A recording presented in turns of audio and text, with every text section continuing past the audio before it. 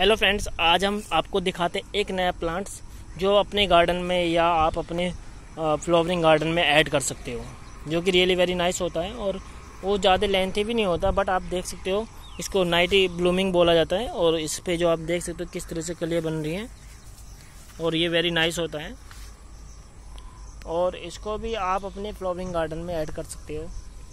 और ये भी आपको ईजिली मार्केट में मिल जाएगा। नर्सरी में जाओगे बाय कर लेना, या आपके नियर बाई कोई बंदा हो और जो इसको यूज़ कर रहा हो, या होगा प्लांटेशन की हुई हो अपने यहाँ पर, आप भी इसको यूज़ कर सकते हो।